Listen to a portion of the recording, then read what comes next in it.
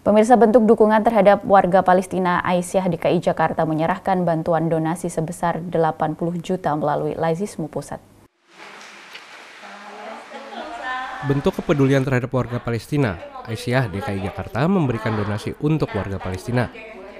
Donasi tersebut terkumpul dari beberapa pimpinan wilayah Aisyah DKI Jakarta, pimpinan Aisyah daerah DKI Jakarta, pimpinan cabang Aisyah DKI Jakarta, dan Ikatan Guru Bustanul Atfal Jakarta Pusat, serta beberapa anggota Aisyah se-DKI Jakarta.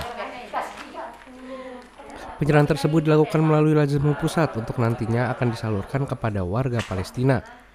Dalam hal ini, Aisyah telah mengumpulkan donasi uang sebesar 80 juta rupiah.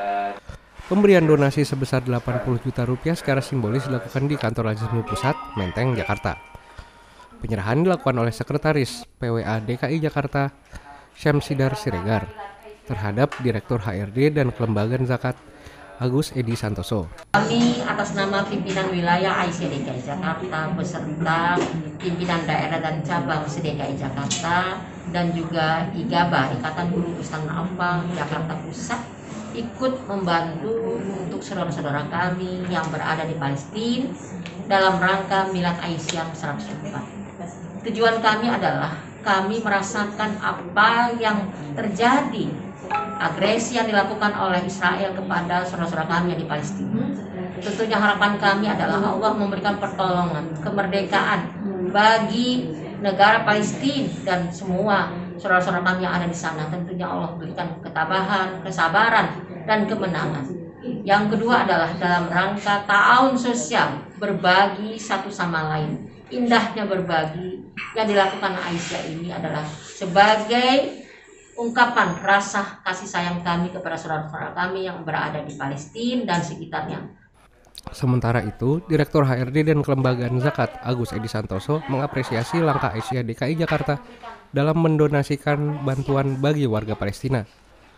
Ia menyatakan donasi akan disalurkan dalam bentuk bantuan pangan, medis, dan obat-obatan yang saat ini dibutuhkan mengapresiasi sekali atas uh, bantuan dana kemanusiaan ini dari uh, ibu-ibu uh, Aisyah DKI Jakarta. Semoga nanti dapat kita salurkan sesuai uh, dan tepat sasaran. Selama ini yang sudah kita lakukan, uh, yang sudah Lazis melakukan untuk saudara-saudara kita di sana adalah uh, memberikan bantuan uh, pangan, memberikan paket sembako, Kemudian eh, selain itu juga memberikan bantuan medis dan obat-obatan karena itu yang dibutuhkan saat ini. Kemudian eh, dalam jangka panjang insya Allah Lazismo akan eh, memberikan bantuan eh, ambulan untuk evakuasi korban yang saat ini memang eh, sangat eh, dibutuhkan oleh mereka. Seperti diketahui, hingga kini total 7 miliar lebih dana terkumpul melalui Lazismu Pusat.